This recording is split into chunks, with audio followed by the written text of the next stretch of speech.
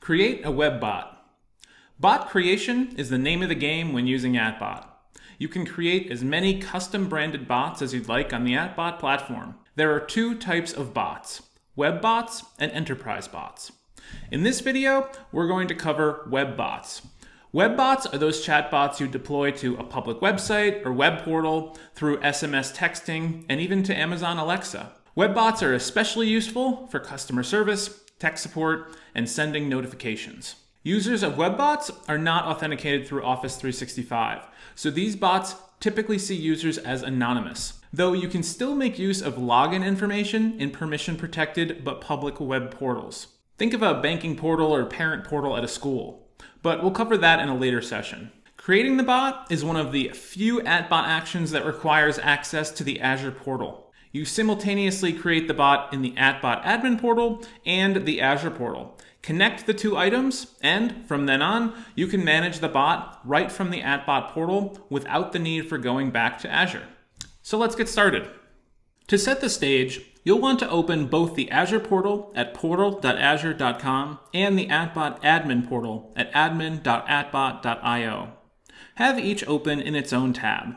You'll be copying some information between the two over the course of this process. Let's start in the AtBot admin portal. To create our bot, we'll click Bot Management from the navigation pane, then select Web Bots. Click New Web Bot and give your bot a name. Once you create the bot in the AtBot admin portal, you'll have only a little information about that bot, but one of the things is critical. You'll want to copy the messaging endpoint that's listed under the Bot Framework Registration tab. This URL needs to be used in Azure. Now let's jump to the Azure portal. Click Create a new resource, then search the word bot and select Bot Channels Registration from the suggestions.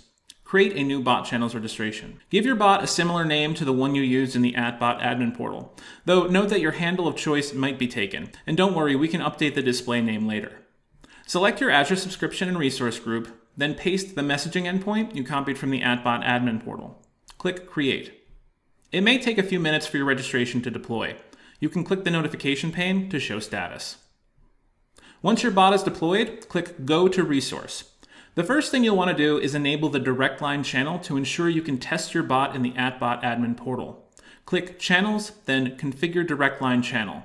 Click to show either of the direct line keys and copy it.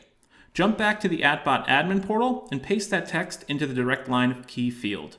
With this, you'll be able to test the bot using the Test and Embed button at the bottom of the page. Jumping back to the Azure portal, we need to grab your bot registration's app ID and app secret. Click Overview, then the name of the resource group. On the next page, click Deployments and select the one that matches your bot's name. Now click Inputs, and among the fields that are displayed are the app ID and the app secret. Click the blue box next to the app ID to copy it paste it in the app ID field in the AtBot admin portal, and now do the same for the app secret.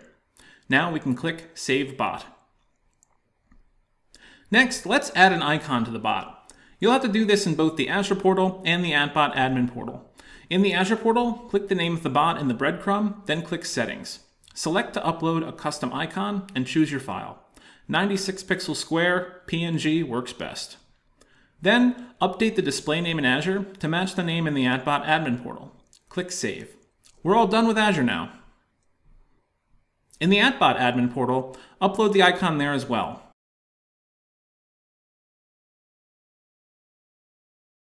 And let's update the welcome message so we can test the bot and see something other than the default inputs.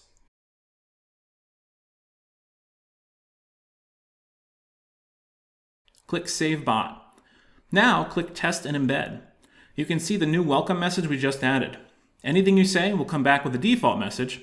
As of now, the bot is working as expected, and it's time to build out some skills and connect the Q&A Maker knowledge base.